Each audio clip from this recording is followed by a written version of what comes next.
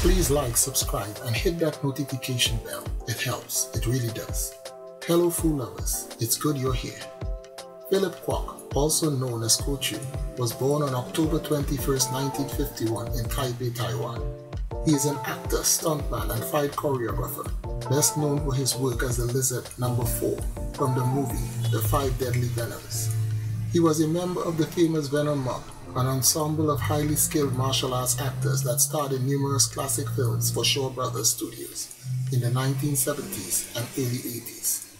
He was also featured in the movies Riki-Oh, The Story of Ricky, 1991, Hard Boiled, 1992, and Tomorrow Never Dies, 1997. Philip Kwok began his career as a circus acrobat and worked in the Peking Opera.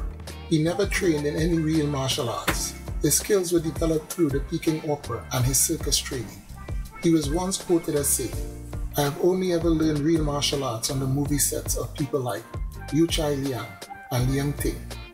Peking Opera or Northern style is the best basis for any martial art. I can pick up any style just by watching it for a few minutes.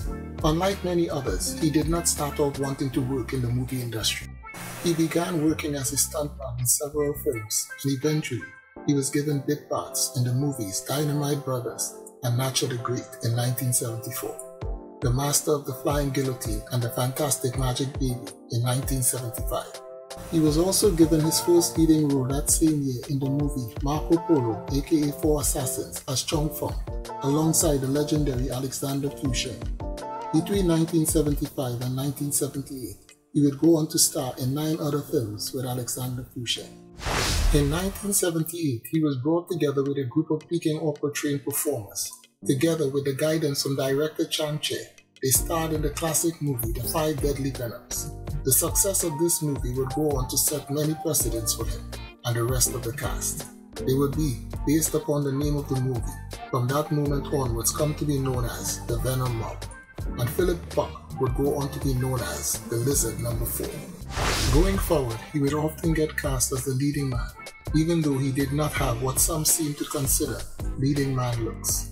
He did have a tough guy charisma.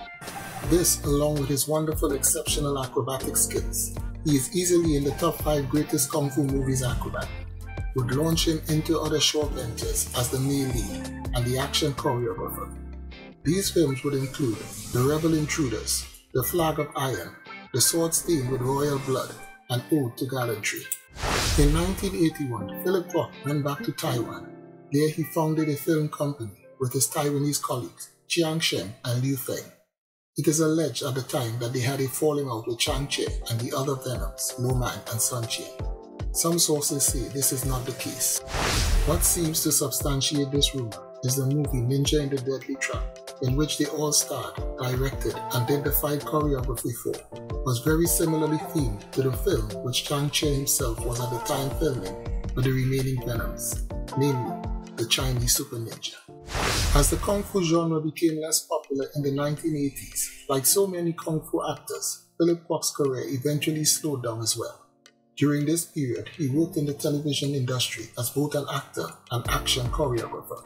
By the time the 90s came along, he was a sought after fight choreographer and would go on to work on such movies as The Peacock King, Hard Boiled, A Chinese Ghost Story, and The Touch. These were just a few of the films for which he was the action director. Up to the year 2022, Philip Kwok was still active in directing and choreographing movies. He seems to be showing no signs of slowing down. With an impressive body of work both in front and behind the camera, it is a guarantee that Philip Kwok's legacy in Kung Fu cinema is safe and secured. So to Philip Kwok we say, thanks for the memories. If you have enjoyed this video, please like, subscribe, and hit the notification bell. And feel free to leave a comment. Thank you and may the food be with you.